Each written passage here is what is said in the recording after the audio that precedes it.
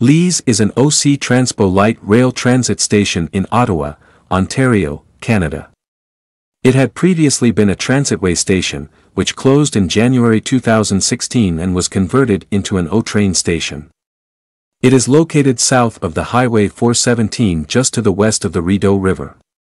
It serves the Lees Avenue and Sandy Hill Heights communities, as well as the Lees campus of the University of Ottawa. Lees is a side platform station located at grade in a cutting.